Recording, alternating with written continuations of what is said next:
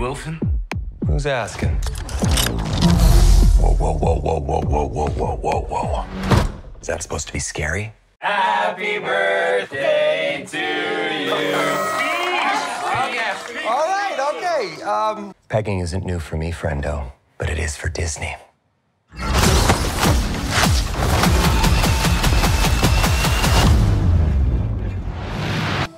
It's been a challenging few years, for sure, but I'm happy. That is because of each and every one of you. I'm the luckiest man alive. Make a wish, buddy.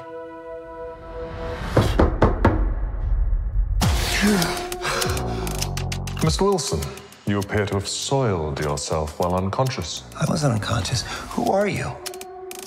Why am I here? I'm the Messiah.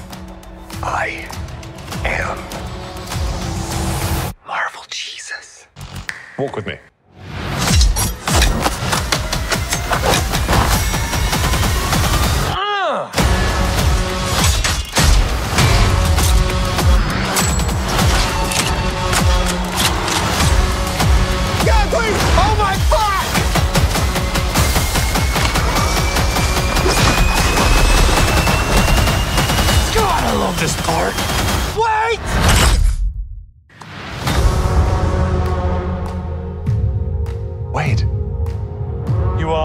special. This is your chance to be a hero among heroes. I smell what you're stepping in, Sensei. Your little cinematic universe is about to change forever.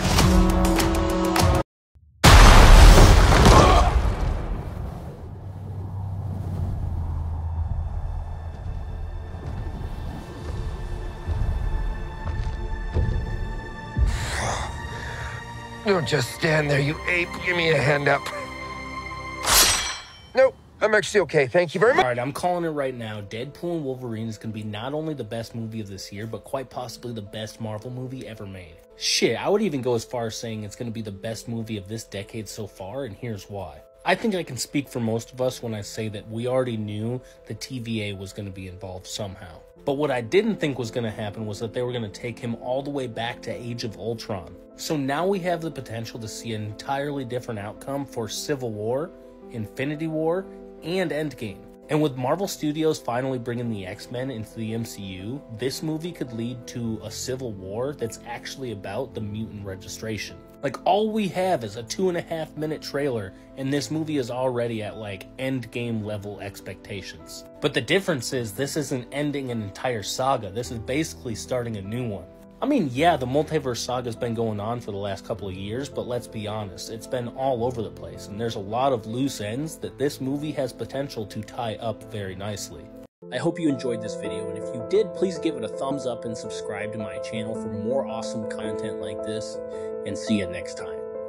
Until then, stay safe.